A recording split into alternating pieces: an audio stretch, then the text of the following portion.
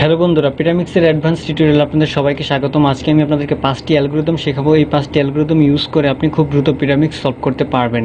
তো প্রথমে আপনাকে নিশ্চিত হয়ে নিতে হবে যে আপনার ফার্স্ট লেয়ারটি সলভ হয়ে রয়েছে। অর্থাৎ ফার্স্ট লেয়ারটি সলভ হওয়ার পর আমাদের পাঁচটি ভিন্ন পরিস্থিতি তৈরি হবে। এই পাঁচটি ভিন্ন পরিস্থিতিতে আপনি পাঁচটি অ্যালগোরিদম ইউজ করলে খুব দ্রুত পিরামিক্স সম্পূর্ণরূপে সলভ করে ফেলতে পারবেন। তো আমি ফার্স্ট লেয়ার সলভ করা শেখাচ্ছি না, কারণ আমি আমার বিগিনার্স টিউটোরিয়ালে আমি আপনাদেরকে খুব সুন্দর করে ফার্স্ট লেয়ার সলভ করা শিখিয়েছি। তো আপনারা ওখান থেকে দেখে নেবেন, আমি আই বাটনে দিয়ে দিচ্ছি। তো এবার চলুন, কথা না বাড়িয়ে টিউটোরিয়াল শুরু করা যাক। তো প্রথমে আমাদের প্রথম পরিস্থিতি। তো প্রথম লেয়ারটিকে আমরা হাতের তালুতে রাখব। তালুতে রাখার পর আমরা দেখব পাঁচটি ভিন্ন পরিস্থিতি তৈরি হবে। তার মধ্যে প্রথম পরিস্থিতি হচ্ছে আমাদের দুটি পিস আনসলভ থাকবে। অর্থাৎ দুটি এস পিসের দুটি পিস আনসলভ থাকবে এবং একটি থাকবে সলভড অবস্থা। অর্থাৎ এই তিনটি পিসের মধ্যে একটি সলভড এবং দুটি আনসলভ থাকবে। তো এই ক্ষেত্রে আমরা যে দুটি আনসলভড এটিকে সামনের দিক রাখব। সামনের দিক রেখে আমরা এই অ্যালগোরিদমটি অ্যাপ্লাই করব, তাহলে আমাদের সম্পূর্ণ কিউবটি সলভ হয়ে যাবে। অ্যালগোরিদমটি হচ্ছে right inverse left right left inverse up left inverse up inverse left তাহলে দেখুন আমাদের সম্পূর্ণ কিউবটি সলভ হয়ে গেল। এবার পরিস্থিতি নাম্বার দুই।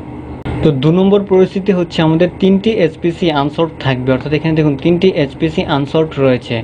তো এই ক্ষেত্রে আমি যদি ঘড়ির কাটার দিকে একটি টার্ন দেই এটিকে, তাহলে দেখুন আমাদের তিনটি পিসি আবার সলভড হয়ে যাবে। অর্থাৎ ক্লক ওয়াইজ ঘুরবে। তো এই ক্ষেত্রে আমরা যে অ্যালগোরিদমটি ইউজ করব, সেটি হচ্ছে যে কোনো একটি ফ্রন্ট যে কোনো একটি সাইডকে আমরা সামনে রেখে অ্যালগোরিদমটি ইউজ করব। অর্থাৎ ঘড়ির কাটার দিকে টান দেওয়ার প্রয়োজন পড়লে তিনটি পিসি সেই ক্ষেত্রে আমরা এই অ্যালগোরিদমটি ইউজ করব। অর্থাৎ দু নম্বর পরিস্থিতি। অ্যালগোরিদমটি হচ্ছে right inverse up inverse right up inverse right inverse up inverse right তাহলে দেখুন আমাদের সম্পূর্ণ পিস সম্পূর্ণ কিউবটি সলভ হয়ে যাবে। তিন নম্বর পরিস্থিতি হচ্ছে আমাদের তিনটি পিসি আনসলভ থাকবে, অর্থাৎ তিনটি এইচপিসি আনসলভ থাকবে এবং এটিকে যদি আমরা ঘড়ির কাটার উল্টো দিকে টার্ন দেই, তাহলে আমাদের পিস তিনটি সলভ হয়ে যাবে। অর্থাৎ ঘড়ির কাটার উল্টো দিকে, অর্থাৎ এন্টি ক্লকওয়াইজ টার্ন দেওয়ার প্রয়োজন পড়লে আমরা এই অ্যালগোরিদমটি ইউজ করব। এটি হচ্ছে পরিস্থিতি নাম্বার তিন। তো এই অ্যালগোরিদমটি হচ্ছে right inverse up right up right inverse up right তাহলে দেখবেন আমাদের সম্পূর্ণ কিউবটি সলভ হয়ে যাবে। চার নম্বর পরিস্থিতি হচ্ছে, আমাদের তিনটি পিসি আনসলভড থাকবে, কিন্তু এটিকে ক্লকওয়াইজ টার্ন দেওয়ার প্রয়োজন পড়বে, কিন্তু ক্লকওয়াইজ টার্ন দেওয়ার পরও একটি মাত্র সলভ হবে, কিন্তু বাকি দুটি আনসলভড থাকবে। এটি হচ্ছে চার নম্বর পরিস্থিতি। তো অর্থাৎ এই যে দুটি আনসলভ থাকবে, এটি ফ্লিপ অবস্থায় থাকবে, অর্থাৎ সবুজ নীল। সবুজ নীলের পিস কিন্তু এখানেই বসবে, কিন্তু সবুজ নীলের পিসটি সবুজ নীল উল্টোভাবে রয়েছে। নীলটি আসবে এদিকে, সবুজটি আসবে এদিকে। আবার এদিকেও নীলটি আসবে এদিকে, গোলাপিটি আসবে এদিকে। অর্থাৎ দুটি পিস আনসলভ থাকে এবং একটি পিস সলভড হবে ক্লকওয়াইজ টার্ন দেওয়ার পরও। এটি হচ্ছে পরিস্থিতি নাম্বার চার। এই ক্ষেত্রে আমরা যে পিসটি সলভ হয়ে যায় এখানে আসলে, সেই পিসটিকে আমরা ব্যাক সাইডে রাখব। ব্যাক সাইডে রেখে এভাবে আমরা অ্যালগোরিদমটি ইউজ করব চার নম্বর পরিস্থিতির। তো অ্যালগোরিদমটি হচ্ছে left up right up inverse right inverse left inverse তাহলে দেখুন আমাদের সম্পূর্ণ কিউবটি সলভ হয়ে যাবে। এবার পাঁচ নম্বর পরিস্থিতি অর্থাৎ সর্বশেষ পরিস্থিতি হচ্ছে তিনটি পিসি আনসলভ থাকবে এবং এগুলোকে অ্যান্টি ক্লকওয়াইজ টার্ন দেওয়ার প্রয়োজন পড়বে। অর্থাৎ ঘড়ির কাটার উল্টো দিকে টার্ন দিলে একটি মাত্র পিস সলভ হয়ে যাবে, কিন্তু বাকি দুটি থাকবে আনসলভ অর্থাৎ চার নম্বর পরিস্থিতির মতোই।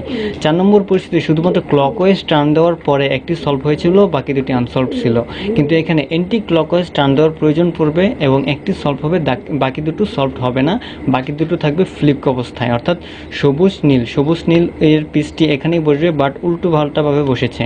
আবার গোলাপি হল সবুজের পিসটি এখানেই বসবে, কিন্তু এখানে উল্টো পাল্টাভাবে বসেছে, অর্থাৎ ফ্লিপ করেছে। তো এই ক্ষেত্রে আমরা যে পিসটি এখানে বসলে সলভ হয়ে যায়, সেটিকে আমরা ব্যাক সাইডে রাখব। অর্থাৎ চার নম্বর পরিস্থিতিতে যেরকমভাবে আমরা ব্যাক সাইডে রেখেছিলাম, যেটি সলভ হয়ে যায়। ঠিক এভাবেই পাঁচ নম্বর পরিস্থিতিতে এখানে এটিকে ব্যাক সাইডে রাখব এবং এভাবে ধরে এই পাঁচ নম্বর অ্যালগোরিদমটি ইউজ করব, তাহলে আমাদের সম্পূর্ণ কিউবটি সলভ হয়ে যাবে।